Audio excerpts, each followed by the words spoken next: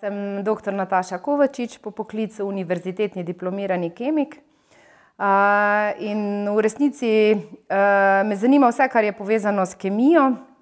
Trenutno sem lastnica svojega lastnega podjetja, kjer kreiram nove naravne kozmetične produkte in jih tudi proizvajam. Kot sem že povedala, torej zanima me vse, kar je povezano s kemijo v vseh oblikah.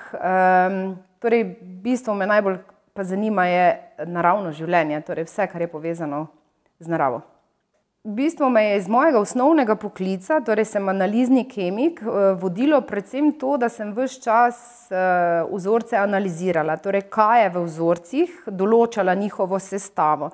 In potem me je v nekem določenem momentu začelo zanimati ravno obratno, ne, torej kako te sestavine, za katere vem, da so v nekje v nekem vzorcu, kako jih zdaj spraviti skupaj. To pomeni, kako jih spraviti skupaj v nekem takem pametnem, funkcionalnem razmerju, da to deluje, ne, in ker sem pač imela od malega rada kozmetiko, je bila to ena moja dolgoletna želja. največji problem, če zdaj opisujem naravno kozmetiko ali pa kozmetiko na splošno, je to, da gre za ogromno poplavo kozmetičnih izdelkov. To je prvi problem, naslednji je to, da proizvajalci obljubljajo marsikaj. To pomeni, da obljubljajo stvari, ki jih mogoče kozmetika včasih ne more nuditi, ne.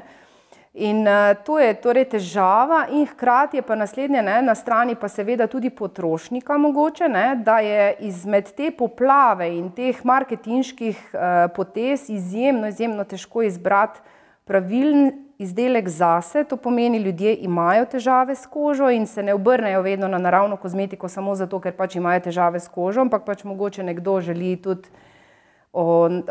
naravno kozmetiko zaradi drugih razlogov, ne, ampak zelo, zelo težko dejansko res izberejo med tako kopico izdelkov nekaj pravega zase, sploh pa kvalitetnega zase. Torej moram reči, no, da potrošniki zelo rabijo zelo veliko znanja, da lahko primerno izberejo zase, ne, in zato se meni zdi, da edino, edina prava pot, da res izberejo nekaj pravega, je to, da jih pač ves čas zraven seveda učimo. No, prednost naravnih kozmetičnih izdelkov bi bila predvsem nežnost teh izdelkov, pomeni, da pač nekaj, kar vzamemo direktno iz narave, je dovolj nežno, da ne provocira dodatnih alergičnih reakcij, da neguje, hrani, torej to so te osnovne oznake kozmetičnih izdelkov, ne, to pomeni, mi ne smemo govoriti tudi pri klasični kozmetiki, da nekaj zdravi, da nekaj deluje torej kot, kot, kot da bi imelo funkcijo zdravila, ker ni, torej, torej naravna kozmetika ima predvsem funkcijo nekega negovanja, hranjenja, ne. To so te prednosti, no, mogoče teh naravnih stvari, ker resnično vnašamo zdrave sestavine na naše telo in ne razmišljamo o nekih nezaželenih učinkih. Medtem ko pri mogoče slabosti so pa spet to, ne, če mi uporabljamo naravne sestavine, ki niso v pravih koncentracijah, ne, in v pravih razmerjih, v tem primeru lahko pa tudi zdrava koža, tudi koža, s katero nič ni narobe, lahko pokaže težave, ker pač tudi narava ima sestavine, kjer delujejo določene zakonitosti, pomeni, da mi določene sestavine ne smemo dajati v previsokih koncentracijah, ker večinoma izzove neko občutljivo reakcijo naše kože. Zdaj, kako upoštevam to znanje v svojem vsakodnevnem življenju, je vprašanje, ki ga verjetno največkrat dobivam. Ker sama za sebe pravim, da sem kar dovolj poklicno deformirana, to pomeni, da pri vsakodnevnem življenju, torej ko grem v trgovino, izbira torej, ali gre za živila, torej hrano, torej čistila, ne vem, oblačila, torej pri vseh stvareh, pri tej moji izbiri gledam, opazujem in berem. Jaz večino časa v trgovini porabim za branje deklaracij, Pa se dotaknem tudi mogoče samih materijalov pri gradni hiše, pri izbiri pohištva. Torej, za mene je zelo pomembno, naprimer, kakšno topilo uporabljajo pri barvanju moje omare, ki jo imam doma. Torej, na vseh, bom rekla, nivojih mojega življenja se ukvarjam z branjem deklaracij in izbiranjem čim bolj naravnih sestavin. No, mogoče tukaj bom zdaj bi začela s čisto kemijsko osnovo, kaj parabeni so in zakaj mogoče so parabeni tako kontroverzna ali pa, bom rekla, vedno diskutabilna tema. Torej kemijsko so parabeni estri hidroksibenzoiske kisline in imajo predvsem funkcijo, spreminjanja pH-ja, torej, kislosti v mikroorganizmih, zaradi česar potem mikroorganizmi tudi umrejo. In v tej svoji funkciji so izjemno uspešni, ne, in zato so kot, taka velika skupina spojin izjemno, torej dobro uporabni v kozmetičnih izdelkih. Pa ne samo v kozmetiki, ampak tudi v drugih, izdelkih jih lahko v ta namen uporabljamo, ne. vendar pa, bom rekla takole, ne, zelo smešno je, da dejansko od kod smo se sploh spomnili na parabene, da jih dajemo v kozmetične izdelke, je predvsem to, da tudi, nekaj rastlin proizvaja. Torej naravno parabene in jih te rastline proizvajajo ravno iz tega istega razloga, to pomeni, da imajo funkcijo, zatiranja mikroorganizmov, torej da te rastline preživijo, borovnica, oljka, na primer, sta dve taki, rastlini, ki sami tvorita parabene.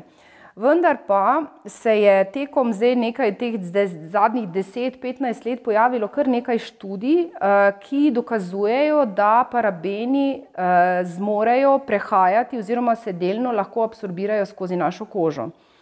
Kar pa pomeni, da dejansko začnemo dvomiti o, pozitivnih lastnostih takšnih spojin, ker pri tem seveda lahko, dvomimo o, vplivanju parabenov na hormonsko delovanje v našem telesu, o vstopanju v metabolne poti, nastajajo, nastajajo lahko seveda novi metabolni produkti in to je tisto, kar je zaskrbljujoče, kar se tiče parabenov. no, in seveda v naravni kozmetiki absolutno niso dovoljeni, ravno zaradi teh dvomov. In jaz sem tudi pač kot strokovnjak absolutno prepričana in sem, stojim za tem, da takšnih spojin, o katerih dvomimo, jih dejansko ne smemo uporabljati, ne v naravni kozmetiki, tudi ne v klasični, sama sem tudi mnenja, da mogoče takšne skupine spojin, ne bi smeli uporabljati v izdelkih za ljudi in za živali. Dokler seveda se ti dvomi popolnoma ne raziščejo, torej potrdijo ali pa ovržejo, ali v resnici gre za neke potencialno nevarne snovi. Torej parabini, parabeni, torej ta, butilparaben, ne, o katerem se pogovarjamo, ne, je en, eden izmed možnih parabenov, ki se uporabljajo v izdelkih, tudi kot, v otroških, izdelkih. zdaj tako, ne, zdaj v klasičnih izdelkih, to pomeni, kjer nimamo nekih certifikatov, da mora biti naravno, so seveda normalno uporabljeni, dokler so uporabljeni v zdravju dovoljenih koncentracijah. To pomeni, da, trenutno potekajo verjetno raziskave, da se ti dvomi razblinijo, in če so trenutne raziskave, ki potekajo, da se dokažejo dvomi, ne, se seveda ta spojina lahko uporablja še vedno, dokler ne bo raziskave, ki bo seveda, določila, da gre za potencialne, toksične spojine, in šele od takrat naprej bo seveda uporaba tega konkretnega parabena prepovedana. Do takrat, dokler pa teh študij ne bo, torej ne bodo končane, bo seveda uporaba dovoljena v klasičnih izdelkih. Torej zdaj v naravni kozmetiki namesto klasičnih parabenov uporabljamo torej naravne konzervanse. Zdaj ti naravni konzervansi, jih lahko, jih obstaja več vrst, običajno uporabljamo neke alkohole, ali pa so to recimo, organske kisline in njihove soli. To recimo, so spojine, ki so prav tako že prisotne tudi v naravnih spojinah, in večinoma tiste spojine, ki jih uporabljamo kot konzervanse, so sintetične narave. Ne uporabljamo na primer ekstrakcij teh iz naravnih rastlin, ne, torej tukaj smo zdaj že pri vprašanju mogoče, razlike med naravnimi in pa sintetičnimi naravnimi konzervansi, ne. No, in jaz bom takole rekla, ne, da nasplošno velja, da kadar imamo sintetične konzervanse ali pa sintetične spojine, so te izjemno, izjemno dobro raziskane. Medtem ko, ko govorimo o naravnih sestavinah, ravno zaradi te oznake, da je naravno, so splošno zelo dobro sprejeti in tudi raziskav ni toliko. To pomeni, da ravno tako lahko pri uporabi nekih naravnih konzervansov v tem primeru sklepamo in tudi dvomimo o neki upravičenosti, torej kdaj uporabiti neki naravni konzervans ali pa uporabiti sintetični konzervans, ne. Ampak jaz moram reči tukaj mogoče bolj zagovornik uporabe torej konzervansa, torej spojine, ki ima funkcijo konzervansa, pa je sintetične narave, ker je zelo, ker je torej prečiščen, ne vsebuje dodatnih spojin, ki jih lahko dobimo torej pri naravnih konzervansih, in veliko bolj so raziskani. Ne, v tej, v tej, zato pač bolj se bolj nagibam k uporabi torej sintetičnih, čistih spojin, ki pa so seveda enake spojine, kot jih recimo pridobimo v naravi. Zdaj mogoče primer, askorbinska kislina je tudi lahko, recimo se tretira kot konzervans, torej navaden vitamin C, če ga uporabljamo sintetičnega, dobimo čisto, torej stoprocentno askorbinsko kislino, zelo čiste kakovosti. Medtem ko če vzamemo ekstrakt, torej iz limone, iz, ne vem, papaje, kjer dobimo vitamin C, je ob tej, torej pri tej ekstrakciji seveda samega vitamina C dobimo še en kup drugih spojin, za katere pa mogoče niti ne vemo, kako bodo v tem izdelku delovale potem. torej tako, ne, torej konzervans potrebuje vsak kozmetični izdelek, ki vsebuje vodo. Torej ker je voda bistvo življenja mikroorganizmov in v primeru vseh izdelkov, torej emulzij, torej kremi, losjoni, mila, vsebujejo velik procent vode in so konzervansi nujno potrebni. Kadar pa imamo izdelke na oljni osnovi, to pomeni, da izdelki vode ne vsebujejo, to so razni balmi, oljni serumi, oljni geli, praviloma ne potrebujejo konzervansa.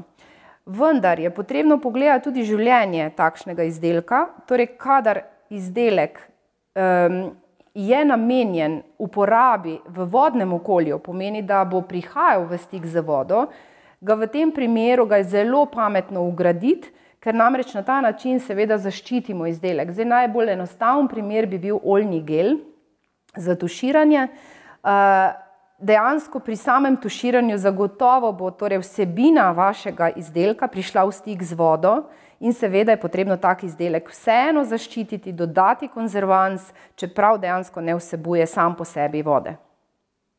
Torej to smo že mogoče se že prej nanašale na ta odgovor glede torej uporabe naravnih konzervansov, torej tudi naravne konzervanse, ki jih poznamo, torej naravni konzervansi, ki jih mi uporabljamo, smo rekli, so lahko ali alkoholi, primer teh alkoholov je benzilalkohol, ali pa lahko za naravne konzervanse uporabljamo organske kisline in soli, kot so natrijev benzoat, bencil benzoat, a ne, in torej to so vse spojine, ki dejansko imajo funkcijo protimikrobnega delovanja v naravnih rastlinah, torej in mi to koristimo, to znanje, ki ga nam je narava dala, ne.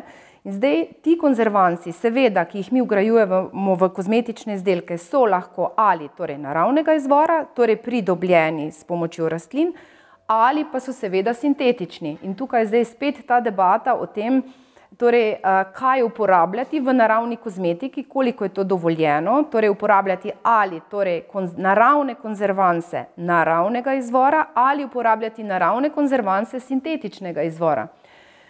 debata je tukaj na mestu samo v tem, da če se recimo proizvajalec odloči za enega od teh dveh možnosti, če ima zadaj kakšen certifikat, določeni certifikati ne pustijo sintetičnih naravnih konzervansov in torej vztrajajo izključno samo pri torej naravnih, naravnih konzervansih, ne, torej ne dovolijo, vendar pri področju konzervansov, bom rekla tako, je konzerviranje tako pomembno zaradi varnosti uporabnika, da je torej sintetični ali pa polsintetični naravni konzervansi so dovoljeni tudi v certificiranih kozmetičnih izdelkih. Ena zelo pomembnih sestavin v naravni kozmetiki so eterična olja. In eterična olja imajo primarno funkcijo odišavljanja, torej imajo funkcijo dišave. zdaj same poleg tega, da so pa to dišave, lahko imajo pa eterik, eterična olja tudi druge funkcije. Zelo popularna so v sami, naravni kozmetiki, predvsem zaradi svojih aromaterapevtskih sposobnosti, to pomeni, imajo funkcijo zdravljenja, delujejo lahko kot, antimikotiki, to pomeni, imajo tudi protimikrobno delovanje, še posebej torej danes dejansko eterična olja nekateri izkoriščajo v kombinaciji s sintetičnimi konzervansi, ker s tem dobimo še boljšo zaščitenost, torej protimikrobno zaščitenost takega izdelka. Vendar pa moram poudariti, no, torej eterična olja so pa drugače, seveda ena kopica spojin, torej ne gre, ko mi govorimo, ne vem, eterično olje, sivke, torej ne gre za eno spojino, ki jo pač ekstrahiramo iz sivke, torej gre za en kompleks spojin, med katerimi je dosti takšnih, ki, imajo potencialne, alergične reakcije, tako da je pri eteričnih oljih izjemno pomembno torej paziti na koncentracijski nivo teh snovi, ki jih mi dodajamo, in pa seveda zelo dobro je treba poznati, torej katero eterično olje, dati na katero kožo. Torej vsa olja, ki jih mi pridobimo, torej so lahko različnih čistosti. Lahko imamo torej, tudi stoprocentna eterična olja, pa še vedno so torej ta olja, to ni samo eno olje, to je nekako, posplošeno jemati to, ne gre za eno olje, če zdaj jaz kemično sestavo pogledam takšnega stoprocentnega eteričnega olja, gre za sestavo najmanj štirideset spojin, ki so v tem ki so v teh stoprocentnem olju, ne. Torej govorimo o sestavi različnih spojin, ki so normalni sestavni del eteričnega olja, ne. Mogoče še vprašanje glede, da odgovorim na vprašanje glede, okoljske, okoljskega vpliva eteričnih olj. Malo kontroverzno je pridobivanje teh olj, kar pomeni, večino teh eteričnih olj pridobivamo na, z energetsko zelo potratnimi postopki, recimo eden od teh postopkov je destilacija, za katerega vemo, torej porabijo se kar ogromne količine vode, potrebno je zelo veliko energije imeti, tako da mogoče, no, eterična olja se dejansko pridobivajo, bom rekla, na okoljsko bolj, take, bom rekla, počasi bodo to postali že nezaželeni, postopki. Torej kot sem že prej mogoče odgovorila glede sestave eteričnih olj, tudi če je olje stoprocentno, če recimo razlagamo zdaj o stoprocentnem eteričnem olju, pomeni, da je to olje sestavljeno iz kopice spojin, med katerimi je najobičajneje recimo ene take tri bom navedla, ki se največkrat tudi pojavljajo, torej to so linalol, limonen, citral.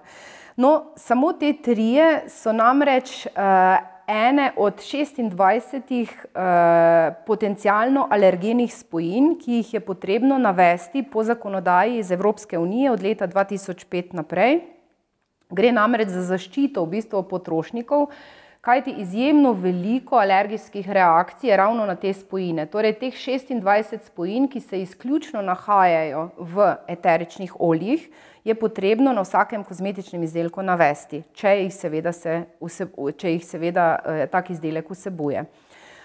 in seveda torej, ali lahko imamo alergično reakcijo na te sestavine ali ne, torej vsak od nas seveda mora poznati svojo kožo. To pomeni, da, zelo dobro poznamo naš alergični odziv na neke nove izdelke, in, če obstaja možnost neke preobčutljivosti na eterična olja ali konkretno na te sestavine, potem seveda se raje takšnim izdelkom, izognemo ali pa seveda, upoštevamo neka varnostna pravila, to pomeni, da je vsaj vse izdelke, ki vsebujejo te možne alergene, seveda stestiramo na, koščku kože, ki bo zelo hitro pokazal našo možno, alergično reakcijo. No, zdaj mogoče novo vprašanje glede barvil, tako v klasični, mogoče kot v naravni kozmetiki. Barvila so ena, torej prav tako kot eterična olja ali pa konzervanci, ena ogromna uh, kupica spojin, ponovno nekih novih spojin. No in v osnovi, če zdaj čisto kemijsko razložim, gre za, gre za uh, spojine, ki so imenovana barvila in anorganski pigmenti. Anorganski pigmenti so barvila, predvsem gre za barvaste minerale, ki so izjemno drobno zmleti in se uporabljajo torej v, v dekorativne namene, ne? torej v senčke, usnice, senčila, eh, lake za nohte. Eh, no, medtem ko potem pa imamo še pa barvila, to so pa organske spojine, za razliko od teh anorganskih pigmentov, mineralnih pigmentov.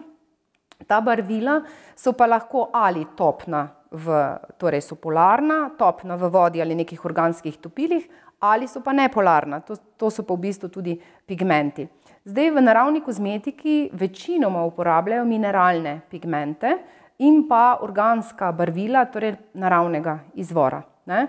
Zdaj, normalno dekorativna kozmetika, mogoče najbolje se vprašamo o teh dekorativni kozmetiki, ne, recimo šminka, ne, ravno vprašanje, ne šminko, torej se šminkamo dejansko eh, sam izdelek eh, tekom življenja, verjetno kar veliko šmink tudi pojemo. Uh, torej, s tem pojemo torej vse sestavine, ki so v šminki, tako tudi barvila. Zdaj, praviloma, torej, seveda, mora biti za tak izdelek, vse sestavine morajo biti, seveda, užitne tudi vključno z barvili. In zdaj, um, da bi bili dokazani neki neželjeni uh, uh, učinki, torej uh, zaenkrat jih ni, tudi nekih dvomov o samih um, uh, sestavinah teh barvil, ali pa bom rekla o potencijalnih nevarnostih, toks, toksičnih podatkih teh spojin, jih ni.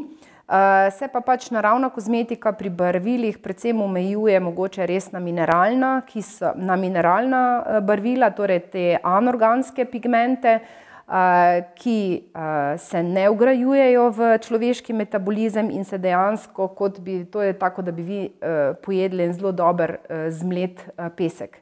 Ne? In torej ta pesek se dejansko izloži skozi vašo klasično prebavno pot in se pri tem torej ne uh, uh, zadržuje v vašem telesu.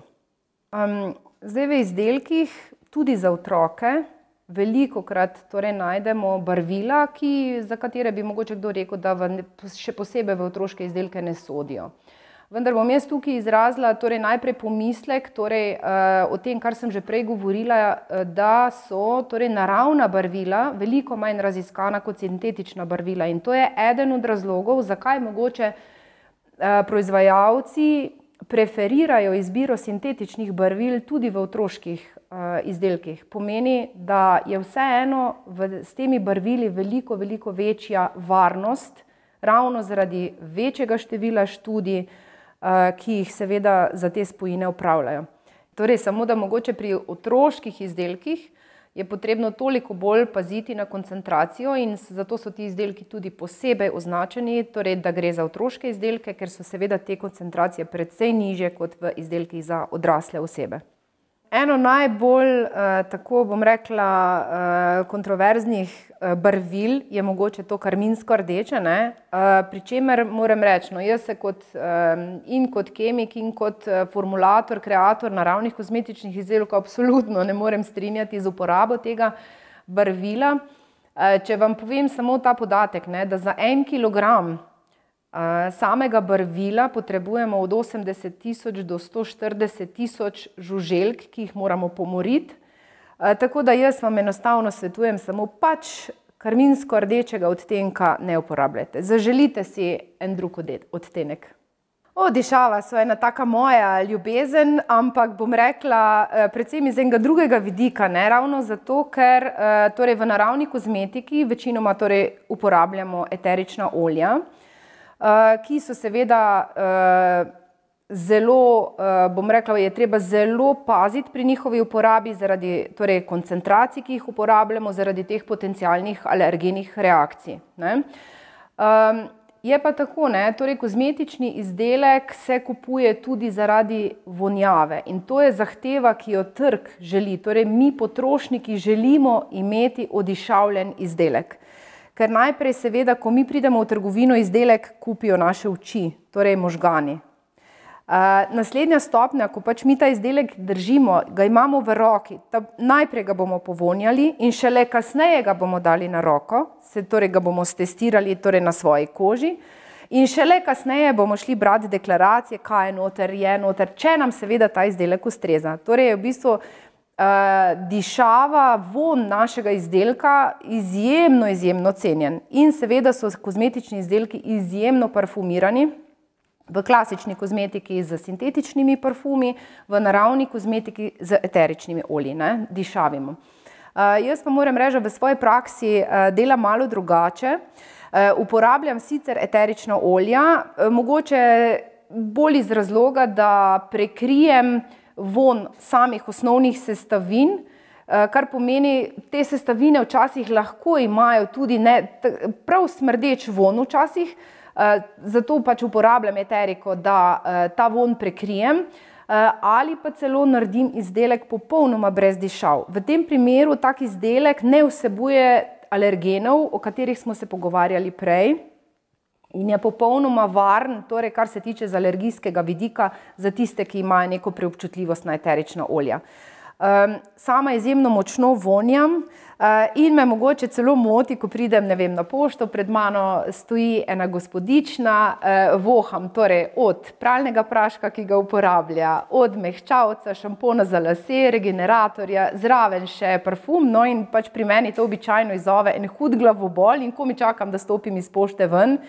Tako da izdelke, ki si jih naredim sama, torej popolnoma samo zase, so neodišavljeni, ne vsebujejo popolnoma nobenih dišav. Eh, seveda, ko pa ustvarjam za trg, pa um, uporabljam dišave, vendar zelo, zelo zmerno. Koncentracija dišave, ki jo uporabljamo v kozmetičnih izdelkih, je največkrat določena eh, pri eh, dišavljanju z eteričnimi olji, ker so tukaj dermalne omejitve. Ne? Eh, torej, nekatera eterična olja izkazujejo neko fototoksičnost, eh, povečanost alergičnih reakcij in tako naprej. In tukaj imamo zelo natančne uh, direktive, torej tudi strani zakonodaje, torej evropske zakonodaje je zelo stroga in zelo natančno določa, kolikšne so te zgornje dovoljene koncentracije uporabe eteričnih olj. Medtem ko pri uh, sintetičnih parfumih, eh, torej pri ostalih uh, substancah, ki imajo v izdelku funkcijo dišave, ni določenega uh, zgornjega, zgornje torej meje za določanje. In to se odloči proizvajalec sam.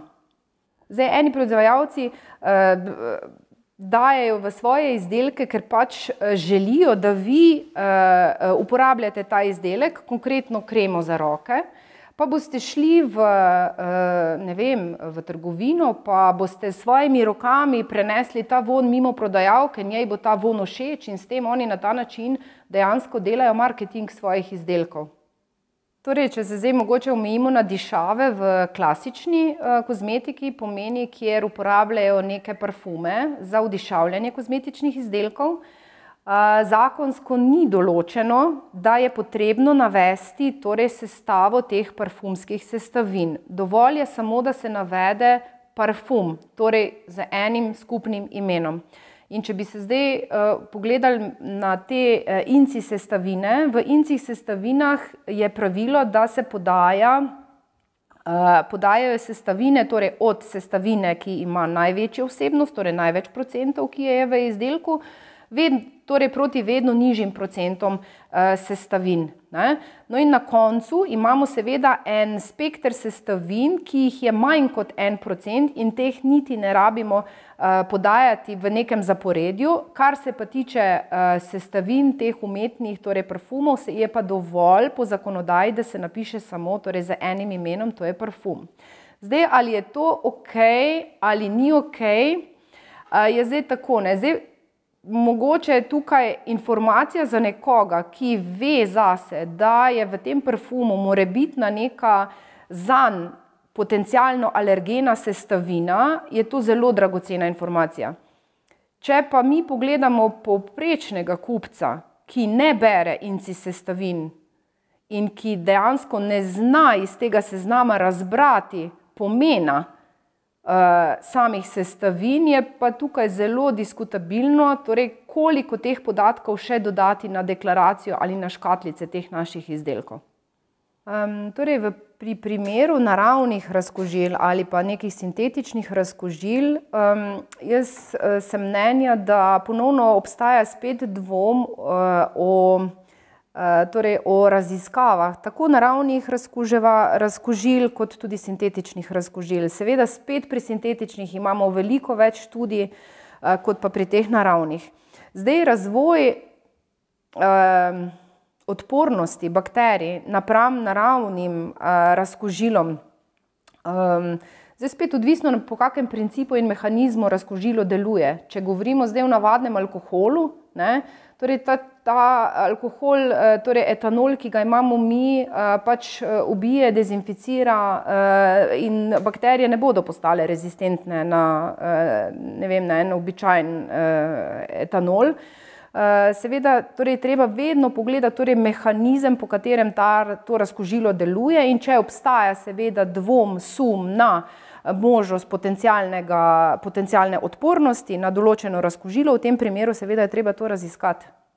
Torej, zdaj, mogoče se pogovarjamo o količini podatkov, ki jih imamo na določenih kozmetičnih izdelkih. Torej, um, ali so to pralni praški, detergenti, ali so to uh, čistila, ali so to vem, uh, kremice za lice, za obraz. Torej, zakonodaja zelo natančno predpisuje, za kateri tip izdelka, katere podatke mora proizvajalec tudi podati. Ne? In se strinjam, da eh, predvsem pri pralnih praških, pri nekih izdelkih, ki so vse čas v kontaktu z našo kožo, včasih ti podatki manjkajo.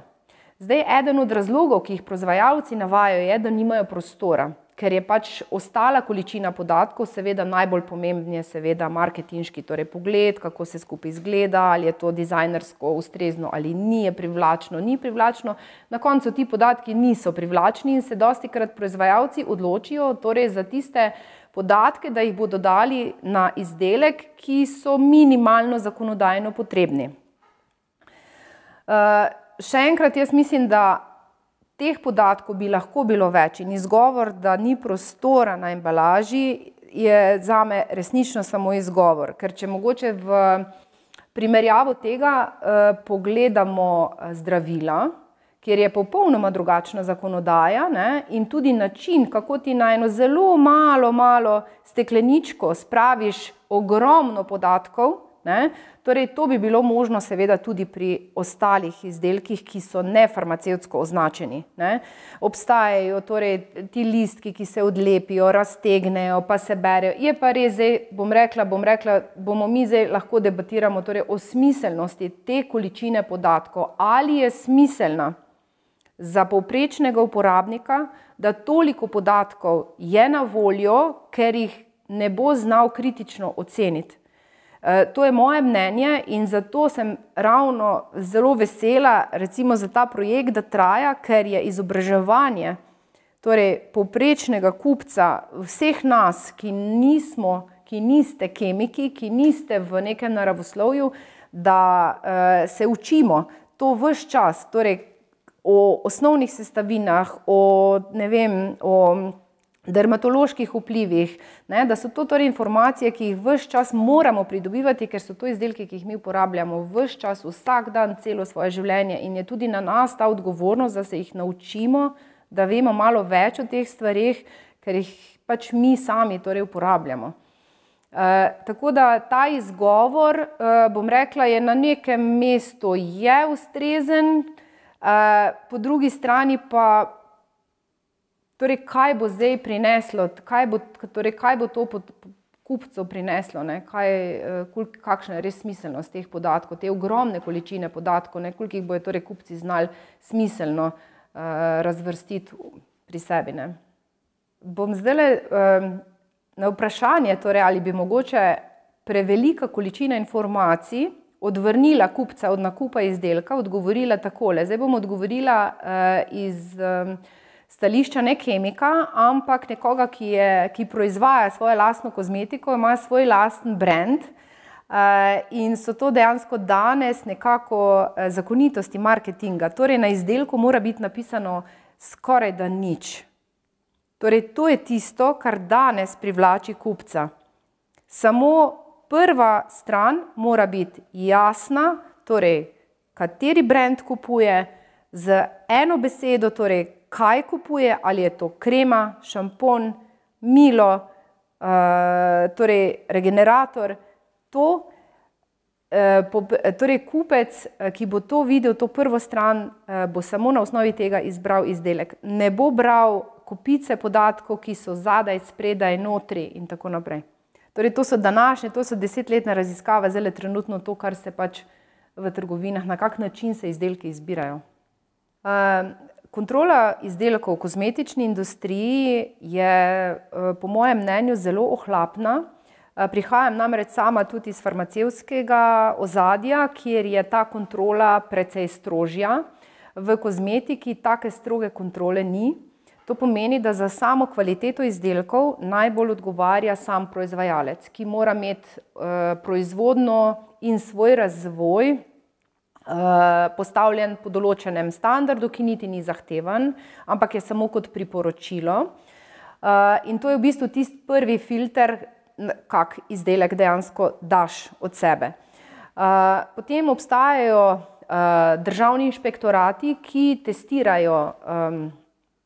Ki testirajo tvoj laboratorij, torej proizvodni del, kako je ta laboratorij urejen, ali je vse urejeno z dokumentacijo, ali je sledljivost ustrezna do teh, teh sestavin, ki jih uporabljamo. Potem naslednjo takšen, takšno kontrolo lahko vrši certifikacijska hiša, ki jo ima torej vsak izdelek, če vsebuje torej ta certifikat vendar spet ta certifikat, eh, certifikacijska hiša testira izključno torej sestavine in pa kvaliteto teh sestavin, eh, mogoče tudi pH izdelka, nekake eh, potem tele organoleptične lastnosti izdelka. Ne? In pa seveda laboratorijski testi, ki morajo biti za vsak izdelek, torej mikrostabilnost, torej mikrobi, mikrobiološka ustreznost izdelka, stabilnost in pa challenge test. To so testi, torej, ki so tudi potrebni za uh, izdajo kozmetičnega izdelka na tržišču. Kar se pa naprej tiče teh testiranj, bom pa tako rekla, ne, nihče dejansko ne testira um, učinkovitosti takšnega izdelka. Torej, če so trditve, ki jih ti navedeš na izdelek, resnično uh, prave. Le redke, bom rekla, temu večje kozmetične hiše imajo svoje študije, ki dejansko potem tudi potekajo uh, na uh, ljudeh, torej da se testirajo, to pomeni, da se odločijo te, uh, proiz, uh, te tovarne za dermatološke teste, za hipoalergenske teste. Torej, bom rekla, to so seveda um, ene dodatne garancije za potrošnika, če torej stojijo na sami embalaži tudi podatki o teh testiranih. Drugače pa zakonsko niso zahtevani. Zdaj te, te inšpek, inšpekcijske službe, državne inšpekcijske službe, uh, imajo nek svoj uh, urnik, jaz osebno moram reči, da uh, zdaj je bil čas COVID-a, ko uh, dejansko te inšpekcijske službe teh nadzorov verjetno v takšni meri niso mogle izvajati, tako da jaz v teh zadnjih dveh letih inšpekcijskega pregleda nisem imela, ga nisem dobila. Postajajo pa moji izdelki, konkretno imajo certifikat, ki ga je potrebno obnavljati na vsaki dve leti in torej ta certifikacija seveda poteka pa ustrezno, ker je seveda pripraviš izdelek, ga pošleš k njim, eh, v svojih laboratorijih naredijo ustrezne teste in seveda dobiš potem potrdilo in pa podaljšanje certifikata. Challenge test je eden izmed testov ustreznosti kozmetičnega izdelka, ki ga damo na tržišče. Uh, izgleda pa tako, da uh, tvojemu kozmetičnemu izdelku namerno dodajo uh, različne uh, mikroorganizme in opazujejo njihovo rast. To pomeni, koliko ti mikroorganizmi vplivajo na stabilnost, na življenjsko dobo vašega izdelka.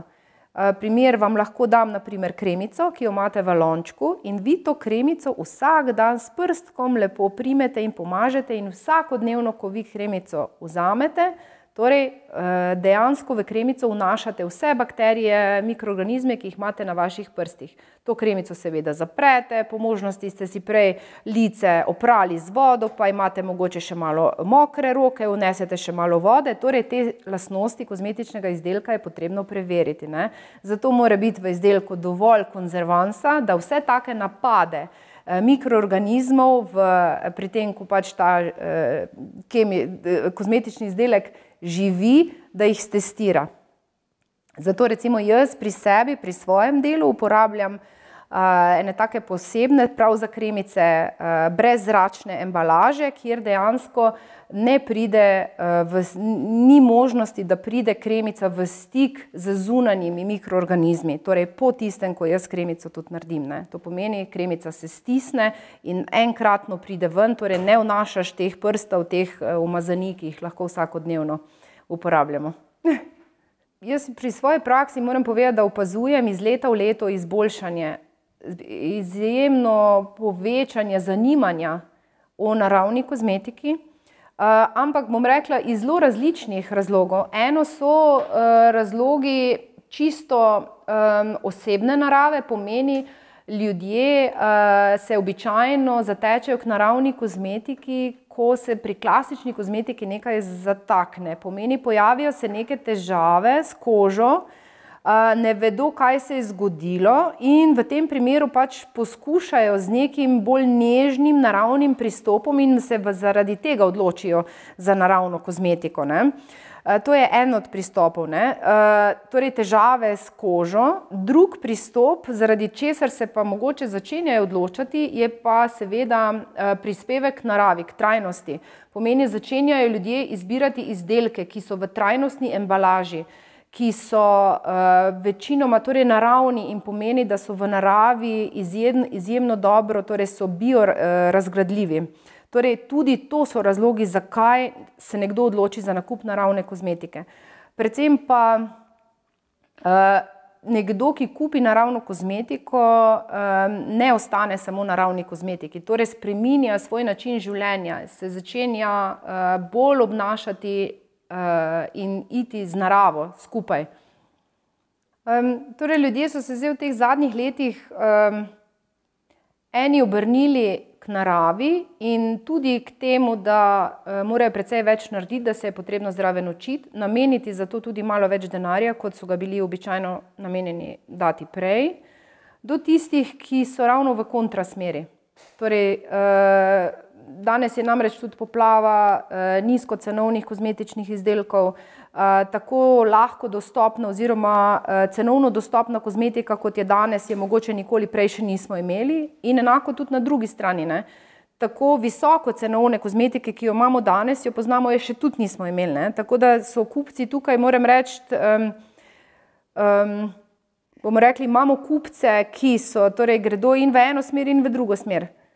Um, ampak vedno, res vedno več pa je teh, ki želijo tudi dvigniti svoj življenjski nivo, s tem, da izbirajo naravne izdelke. Ampak zdaj govorim, seveda, to so ljudje, ki bodo naredili spremembe ne samo pri izbiri kozmetike, ampak bo šlo na izbiro hrane, na izbiro obleke, oblačil, torej vseh materijalov, ki jih obdajajo. Torej, da gredo čim bolj v nekako naravne eh, sestavine, v, ki jih vnašajo v svoje življenje in to predvsem zato, ker predvsem računajo na neko nežnost narave, računajo na to znanje, ki ga, lahko, ki ga je narava ima in ga lahko nam ponudi.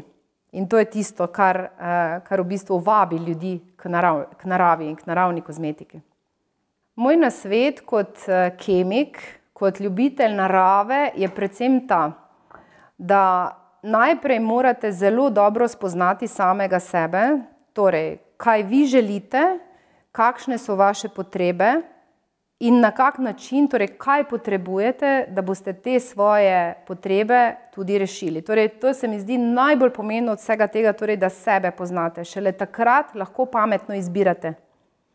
In ko poznate konkretno težave s svojo kožo, ali so to neke preobčutljivosti, presvetla koža, dermatološki, neki ekcemi, nekaj, torej na kar vaša koža odreagira, takrat lahko vi pametno izberete. Torej, če imate v izdelku ognič, točno boste poznali, torej, ja, jaz potrebujem za svojo kožo ognič, ker ognič mi nudi to in to in to in to. Ne potrebujem trenutno kamilice, ne potrebujem uh, eteričnega olja čajovca.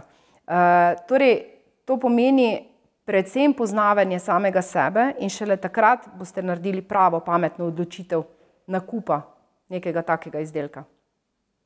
Torej, moje zadnje misli bi bile, uh, naravna kozmetika ni samo kremica, je način razmišljanja, je vaša izbira in naj bo pametna, smiselna, ob tem pa seveda ponujena roka z naše strani, strokovnjakom, da pač približamo naravo vsem kupcem, uh, tudi da lahko to nesete, seveda, to znanje v vaš dom.